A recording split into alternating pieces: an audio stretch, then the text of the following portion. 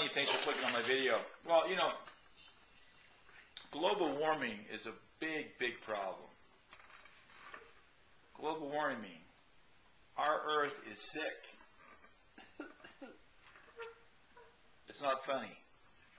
Now, I have a solution to global warming, I believe, and it has to do, it's a very radical solution. It has to do with,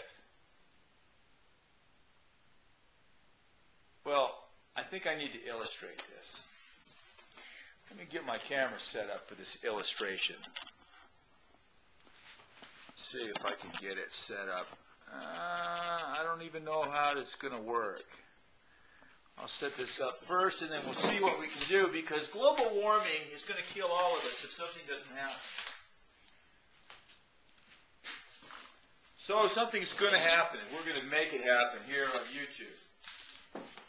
We can do this, folks. We can solve global warming on YouTube. Yes, we can solve global warming. Oh! Okay, let's see here. All right.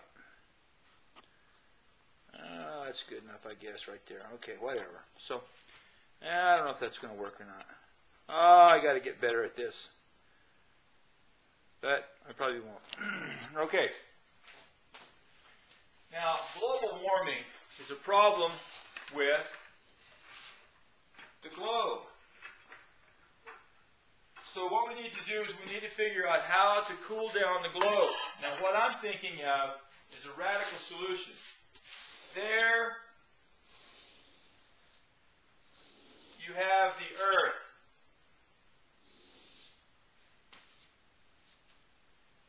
My solution is to get all of the people on YouTube and all of the bloggers and all the bloggers who continue to put out all of this incredible content that is really nothing more than freaking flatulence and hot air and put everyone on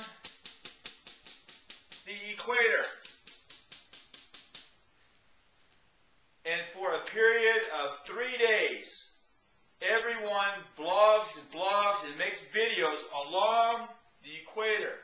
And what that will do is it will create such a mass of gas and electrical current will ignite it, and this will explode around the equator. And what will happen then is that the earth will blow up and become this shape right here. It will blow up here, it will fall apart like that, it will come apart like this and fall upon itself like this, balancing itself. Here, will be the new location of the hot people on the bottom of the earth. Under here will be the cold people. All of this area in here will become a giant rainforest because when the equator is broken and exposes the interior of the earth, the oceans that are in this area right here will flood into the core of the earth where it is molten magma Magma. I want you to remember that. Molten magma. It will create a gigantic, unbelievable cloud of steam, which will cover the entire earth. Steam. The steam will condense, go up, make rain, and produce a rainforest on both halves of the earth. This area will be so hot it will be almost uninhabitable except for those people that like it really hot. Like if you live in Florida or you live like in, uh, uh, you know, uh, like a, you know, like someplace really hot. If you live in, you know, someplace really hot, you'll live up there. Now, if you live up here, if you live in a hot area, but you really like to ski, if you're a skier, you say, well, I'd like to ski. You can live on the bottom of the earth where there's going to be a lot of good skiing. I'm telling you, it's going to be so cold there. it's going to be non-stop skiing powder galore. 24 hours a day, nothing but powder.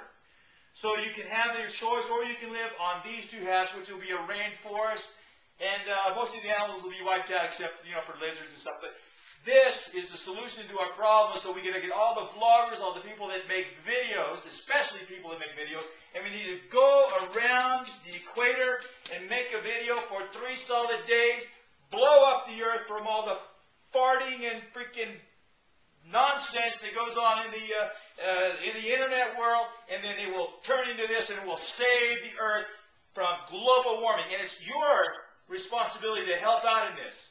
And I'm shooting for a date when we can start this of October the 13th. That's tomorrow. So when everybody get down to the equator, we're going to start this project. So if you love your earth, you'll get down there. That's right.